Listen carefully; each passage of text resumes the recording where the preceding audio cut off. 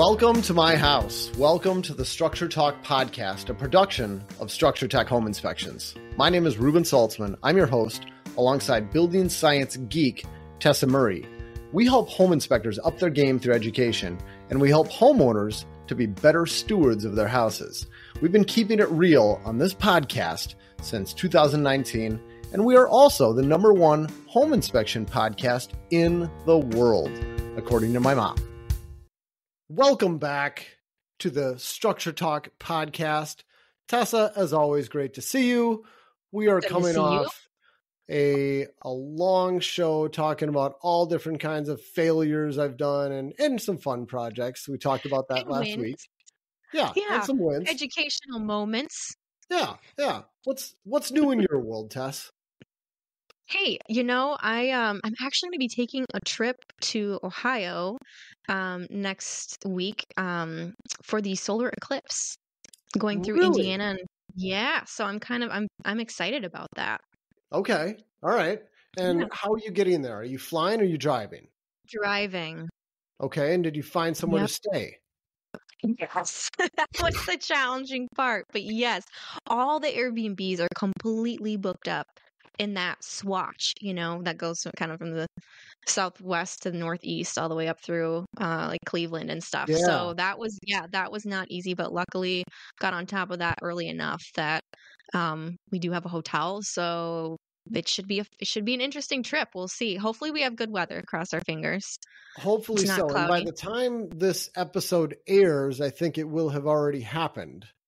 Yes. But It we'll, will. we'll talk about it on the next uh next time you're Yeah. on. Yeah. Okay. Yeah. Yeah. All right. That sounds like fun. Yeah. How about you, Reuben? Anything uh, new going on in your world? What's new? No, nothing nothing too new, nothing too exciting. I need to put in a reverse osmosis system in my kitchen. Oh. I was listening to Really? Joe Rogan podcast. Somebody is like, you got to listen to this one. And he had this guy, Dave Mhm. Brecka, on. And he was talking about all this stuff with health and, and stuff that's going to kill you. And one of the things they talked about is that there is an inverse relationship between the level of fluoride in city water and people's IQ for the city. Oh. Yeah. Huh. And I was like, you know what? I've been kicking around the idea of an RO system for a long time. Yeah. And now just this is pushing me over the edge. I need to get fluoride know- out of my water. I gotta tell you something though. This is interesting, and we're taking a complete tangent. But I have I have had um, reverse osmosis water for the last two years now, where I live, and it is the best water I've ever had, and I Mm. love it. I love it so much, and I'm spoiled by it now. Anywhere else I go, the water just doesn't taste good to me. That being said, I also got the first pre-cavity I've ever had in my life last year. Oh. So I have no idea if that is just because, I mean, obviously there's a lot of other variables, but I would say I'm a pretty good, you know, toothbrusher. I brush my teeth. I always brush my teeth twice a day, you know, morning, evening.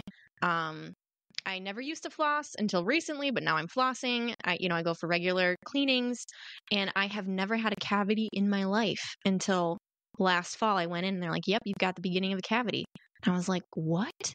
The only, I mean, the uh, so they recommended using a fluoride rinse, like a fluoride mouthwash. Yeah. So I've started doing that now because I don't want cavities. But does that have anything to do with maybe the removal of fluoride from my diet when I switched over to this RO system? I have no idea. I'm going to say absolutely because everything I've read about it, fluoride really does. I mean, it, it's like a miracle at preventing cavities. I mean, it is extremely good for your teeth. It's it's Yeah. bad for everything else, but Everything else. it, it is very effective at preventing cavities. So that's Huh. that's very interesting, Tess. yeah. Yeah. I have no I- I'm not a scientist and I'm not telling anyone that they should or should not use fluoride. Um, but uh, it's just my own personal experience. Huh. And then, well, and then of course the question is, does a fluoride rinse cause any problems? I mean, even if you rinse and you spit it mm, out, you're still your body's still absorbing it though, I would think, you know. That's what I'm wondering. Somewhat. Is that safe? I I have no clue. Okay. Yeah, me neither. No clue. All right. This is outside our area of expertise, that's for sure. All right. Total tangent. We'll we'll come back to this in five years and I'll let you know if I have any cavities. I have not had a cavity for a very long time. If something changes, it was the fluoride. There we go. All right. Okay, perfect. All right. So uh so what's the topic for today, Reuben? All right, Tess, today we're talking about gas leaks, natural gas leaks. Okay, we Mm, got a lot okay, to talk about. you- I can tell you're you're fired up about this. Oh, um has there been something that's happened recently that's brought this to the forefront of your attention? Well, if by recently you mean like continuously for the as long as I've been inspecting, uh, excuse me, for as long as I've been inspecting, yes, absolutely. Um, I'm I'm What whipped up mean? about gas leaks. Here's the here's what happens. We do a home inspection. We find a Mhm. gas leak, and we tell someone there's a gas leak. There's two ways this ends up going, and and it's it ends up being so black and white. Either number one, somebody calls the gas company, the gas company comes out, and they say there's no leak, and then we look stupid because they're the gas company and they're the experts and they know more than we do and they they are more than we're less than uh, we're just the petty little home inspector. So we look stupid and then people don't trust us they don't trust our report you know it's embarrassing it sucks so that's that's one outcome of us finding a gas leak the other outcome is we don't notify the seller about it. You know, we just tell the buyer, hey, you got a minor gas leak here. You should fix it. It's probably something that's been leaking for like five years. It's tiny. Mhm. And then it gets back to the seller that there was a gas leak. And then the seller is irate that we didn't tell them they had a gas leak. it's- Yeah, It's- right. It's, one of the two. And we've gotten flack on both sides for so many years, Tessa. And it, you it is just so can't frustrating. win. Yeah. So yeah. and we're we're still dealing with it. So we'll we'll come back to that. But first, I want to talk about what we do to find gas leaks and document them. So Yes. you went you went through all of this. You taught home inspectors how to do this. What what do we do at Mhm. Structure Tech? Well, now you're quizzing me, Reuben, because it's been a few years. but I'll do my best. So, um, so Structure Tech uses a tool called a what is it? The technical term. I know. Um, It's a gas sniffer. That's what we call it. Yeah, I, I call them gas I- sniffers. You could call it a combustible gas detector. In fact, there's a couple of them out there. Let me wax on this now. Okay. Yeah. Okay. Yeah. we're we're going Yeah. down a, another path. All right, reset. Few different electronic devices, and we don't all use them. There are home inspectors on our team who don't even want to use them. They don't trust Yeah. them, and that's fine. Your nose is very good at finding gas leaks, and you know our, if our you pers- have a good sense of smell. if yeah if yeah you- are right. If you don't have a bad don't cold, trust your right, and if you don't trust your nose, then you can use one of these devices. That's right. Yeah. That's right. But you know, I, I've got a good nose. If there's a gas leak, I'm gonna smell it. I, I don't Yeah. take an electronic gas detector and go over every fitting and every pipe at every house. Uh, I'm I'm not hunting for these tiny minuscule things, but there's an if there's a gas leak enough for me to smell it, and you can I, I'll tell you Mhm. what, Tess, you can smell Mhm. gas leaks, even tiny ones. And I've of of course going back to last week's uh, podcast, of course I have tested this many times, making gas leaks in my own house, making the smallest gas leak I can possibly create, just to see how far away do I need to get before I smell it. And even making Wow. the smallest thing I can possibly do, I can smell it when I'm a few feet away. I mean, the the the stuff that they the gas company adds, it's called mercaptan. It's extremely stinky. It's there to let you know there's a leak. So you can smell Can. I just say I'm really glad that none of those experiments made it into our last podcast episode where we talked about failures. You're still here Yes. today. Yeah. That's good. that could have been a nasty failure. Playing around with gas leaks. Oh my gosh. Yeah, yeah. Um, and I, I haven't published most of that testing because I don't know, people just get whipped it's up. Not safe to replicate. Yeah, probably not.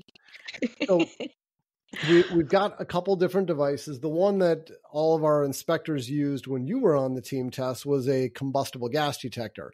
And it's a, a mm. fairly expensive device. It cost a couple hundred bucks and it'll detect gas leaks. It'll also detect exhaust gas. It'll it'll True. detect a wide range of products. But you know, there's there's a newer product out there. Well, I shouldn't say newer. There's a different product that I, I think might be a little bit more handy for home inspectors to use, which is just okay. a gas leak detector. And okay. you you can buy them about the same size as an electrical sniffer or a voltage mm-hmm. detector. There, it's it's basically the same shape, same size.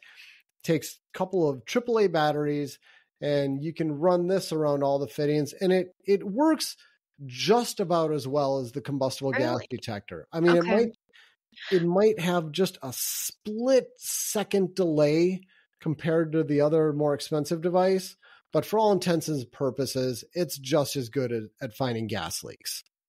So, a couple questions. One, is it a lot cheaper than the gas detector? Okay. And do you yeah. have to wait? Do you have to let it, when you turn it on, let it warm up and calibrate it and do all of that like you did with the older tools?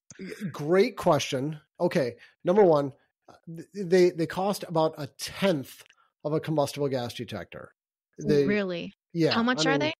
Uh, like twenty bucks. Wow. Okay. Yeah. Yep. Yeah. They're they're they're very inexpensive.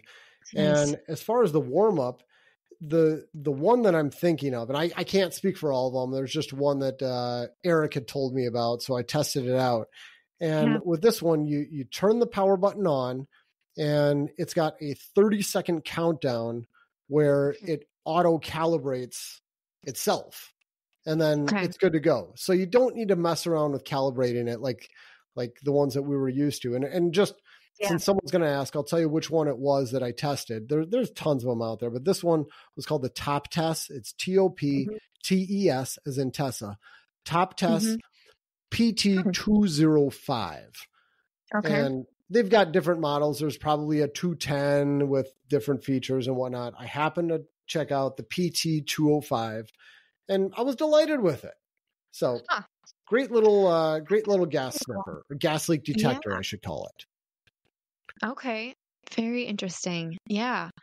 I like the fact it's compact, it's small, it's affordable, um, couple batteries, and easy to use. It's a win. Yeah, and, oh, win. and the the batteries test i mean that was that yeah. was always a complaint that we had with the combustible yeah. gas detectors is that yep. batteries wouldn't be charged they were nickel cadmium batteries and yep. once they went bad you had to replace them and the batteries were like it was like 80 bucks for a pair or something like that and they were yeah. proprietary i mean you could not go to batteries plus or aaa batteries or whatever and get new ones you had to order them online it was just it was always frustrating yeah, so, and the way that the door would fit was always kind of finicky, and if it didn't fit perfectly, they wouldn't charge. So, yep, yeah, yep. I'm glad to know that there's something, uh, you know, a newer product out there that you trust, and it it seems to work just as well, and it's easier and more affordable. Yeah, yeah. so I like those devices, but like I said, we we don't necessarily even need to use those electronic devices. It's kind of nice if your client is there, you look a little bit more professional using this, and if it's if it's something up above your head where you can't put your nose right on the fitting, you can reach yeah. your arm up. But for all intents and purposes, if you can get your nose there, it's just as reliable. You can put your nose right up to a fitting, you yeah. know it's leaking there. So yeah. the, the goal is if you find gas, figure out, or if you smell gas, try to figure out where it's coming from. And once you got that done, the, yeah. the way that we would prove there's a gas leak, all right, Tess, what would we do? Well, we have this other very expensive uh, tool we use, um, liquid soap. Yes. Thank you. It's basically liquid soap, and you just kind of smear some on around the the fitting or wherever you think that gas leak is coming from, and watch for bubbles. And if you start seeing bubbles coming out, then you know you've verified that it is a gas leak. Yes. Then you want to mark it somehow. Yeah, and yep.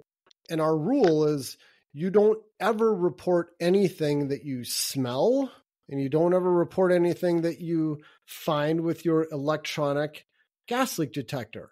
Those are nice nice tools for narrowing down where to check. But the only leak you ever report is a leak where you get bubbles. You can see the bubbles, Mhm. you can take a picture of it or a video of it. You have absolute definitive proof that you have a gas leak here. That's no bubbles equals no leak. And for for you know you're you're talking about liquid soap. There's there's basically three different versions of it that I know of. One is you just take a little jar of water, you add some dish soap to it, shake it up, apply some of that. That's one way to do it. Another Mhm. would be to buy a gas leak detection solution. Costs about Mhm. five bucks for a little jar. Uh, it'll last a home inspector probably a couple of years. You know, you're not The entire time I was inspecting, I had the same solution. yeah yeah it's it's not like it's a lot of money or. Uh joe on our team he he tells me his preferred liquid of choice is bubble solution that that kids use like for blowing Oh, really? bubbles Yeah. Yeah. Yeah, I can see that. Cool. yeah he said that Uh-huh. works really well too so it, it this is not an expensive product and it gives you definitive proof that you got a gas leak Yeah. so Very interesting. Um, and just to go back to what you said, you know, I'd say most of the time, you know, in, during inspections, like what is it? Maybe one out of every hundred houses you go into, maybe you you smell gas or you find a gas leak. I mean, well, I should clarify that. It's been very rarely that I've found gas leaks that are significant enough to hit you when you walk in. That's Yeah. pretty rare. yeah Um, and then you want to, you know, either get out if it's bad enough or try and figure out where it's coming from to notify oh the sellers. Yeah, I Um, think I had one of those in my entire inspection career where I walked in and I was like, I got to call somebody. This is an emergency. God, Yeah. Yeah, I had one of I had one of those too. But most of the time like you said, it's like once you're, you know, you're down in the mechanical room and you're testing the furnace and you're spending a lot of time and you know your face is right next to these gas lines, then you kind of get a little whiff of something. Usually Yeah. that's what's going on. You get a Yep. little whiff and then you just start sniffing all the all the gas lines you can get to and usually you'll kind of find a little something but it's it, i mean it's because you're literally your your face is down there and you're you're tuned into it whereas you know most homeowners uh, that leak's been going on for for years and they've Yes. never noticed it they've never smelled it before Yes. and that's not the type of gas leak that you know that warrants um a lot of fear in my opinion you know you, it's not going to blow up a you house kill 100% you. right. Yes. yeah just a tiny little leak that's been going on for a long time Mm-hmm. Mm-hmm. unnoticed And I mean, I okay. Shouldn't shouldn't say this, but I, I've done I've done testing. Like, Yeah. how much gas do you need to actually create a flame? And Oh.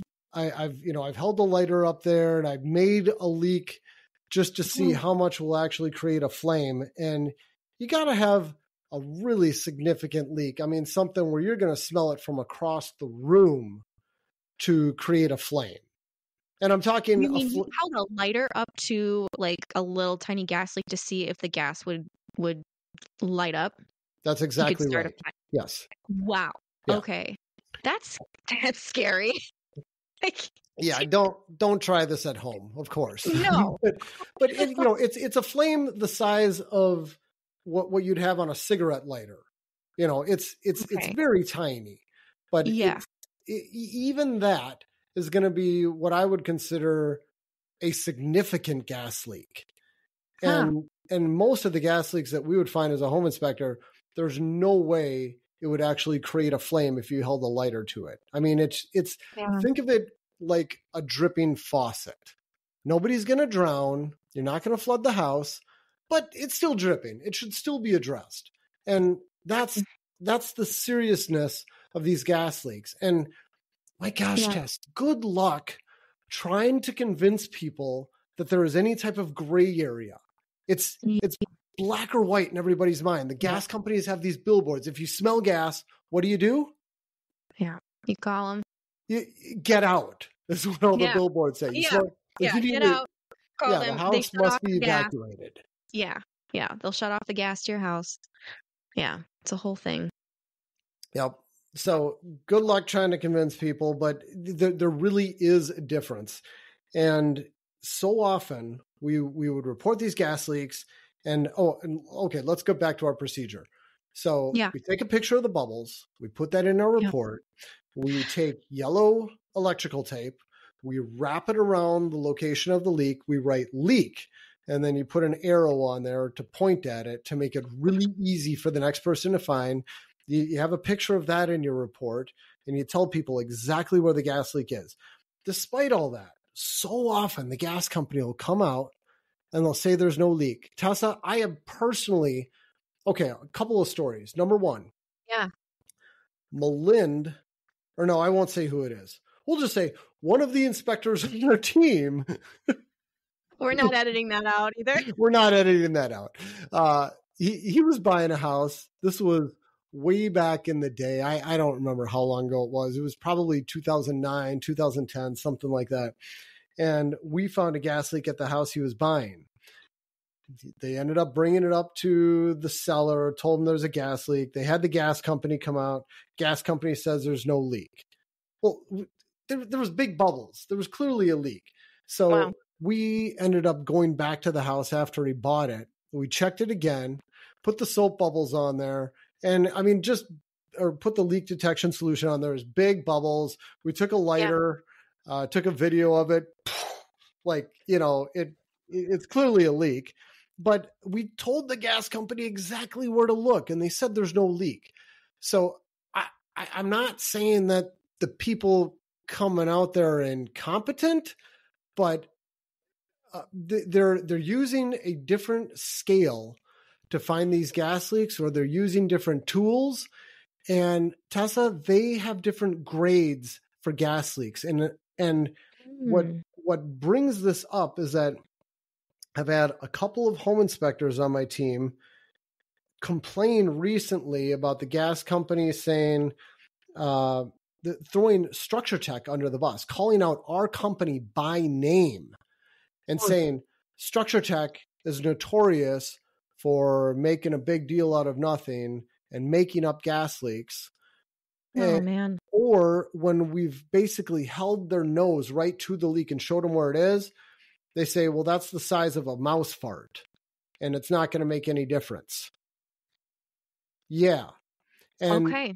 and then when we shared this amongst our team, like a bunch of inspectors on our team said, yep, I've had texts say the same thing, the size of a mouse fart. Like that, they're going around.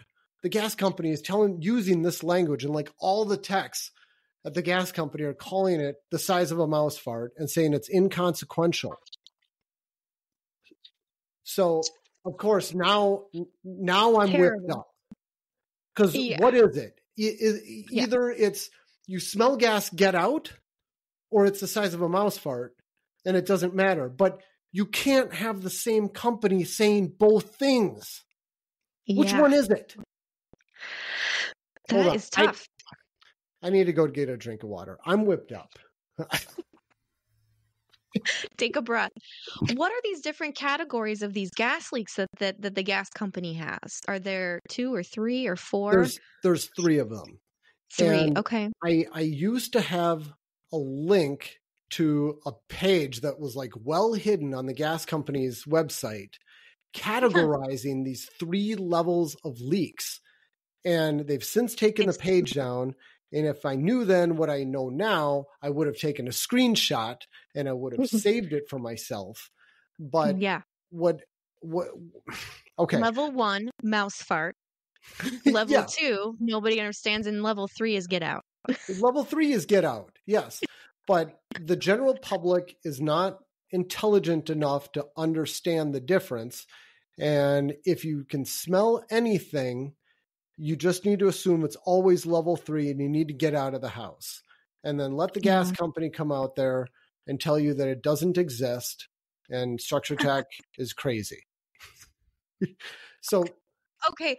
So a question for you then. Would you is there another option besides calling the gas company would you that you'd put you know in your report or or tell the sellers if you've got an inspector who finds a gas leak does that inspector then tell the buyer and tell the seller and then what do they tell the seller to do about that gas leak I'll tell you what, Tess, like we talked about earlier, you and I have both been in like one house where there was a major gas leak. In that case, I said, call the gas company, have it Yeah. addressed.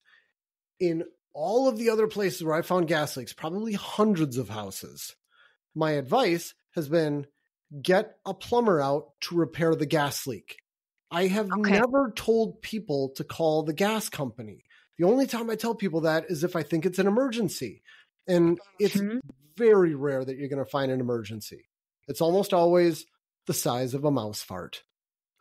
so, and I, I've never had a problem with a plumber coming out and not finding our clearly marked gas leak. When we take that electrical tape, we got the pictures, whatever. The plumbers find it and they fix Yeah. it. It's Yeah. done. They don't come back and say, "Oh, this is no big deal." So right that's our Right. advice. You got you got a small gas leak that the home inspector found. Just hire a plumber because here's the other part of it, Tess.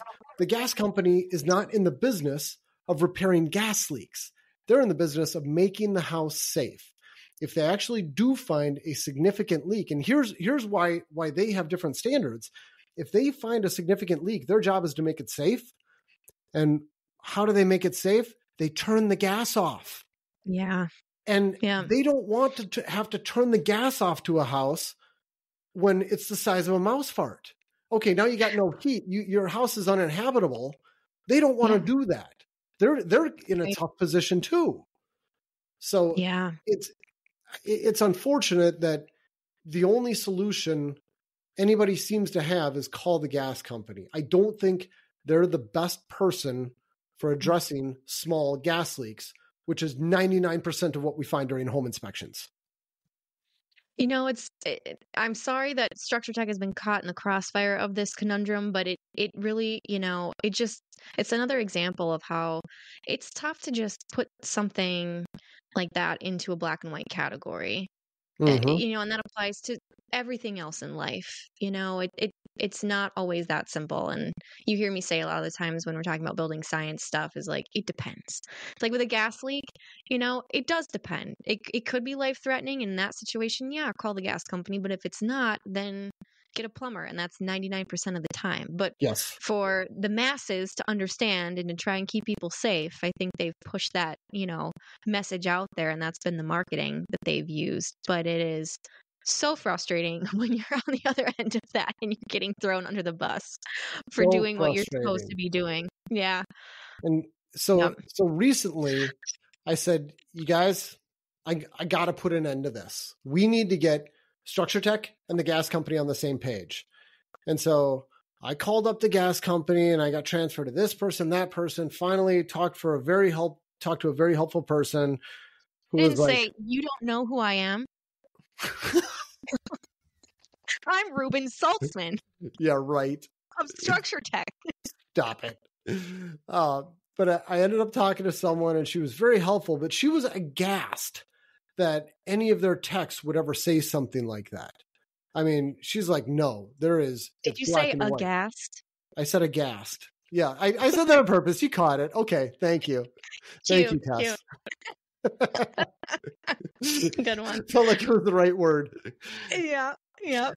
And Okay.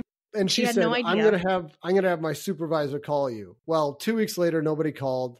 I called again, talked to her. This time, she wasn't so nice, and she was kind of annoyed. And she's like, "Well, I told him to call you." Blah blah blah. I said, "Okay, well, thank you." So you think he might? Yep, yep, he'll call.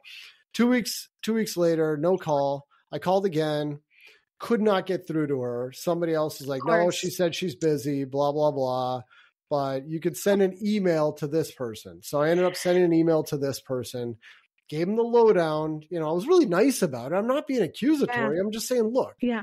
you guys and us, we're we're we have the same goal here. We're just trying to make houses safe.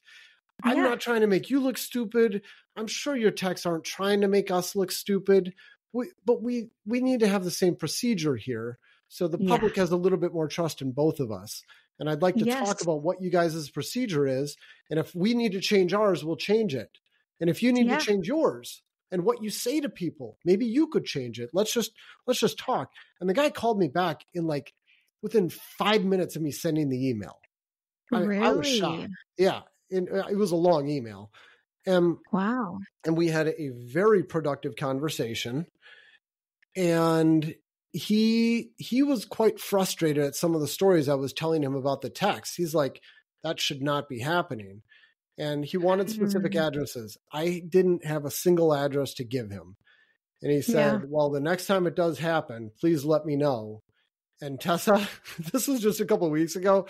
The next time this happens i am going to be so on this. I'm just i'm just I, i'm looking forward to it happening i can't wait for the next time uh, a technician from the gas company says there's no gas leak when we've got proof that there is because i'm surely going to be meeting somebody at the property and I'll, I'll have a follow-up story to share with you about it but it hasn't happened yet Continued.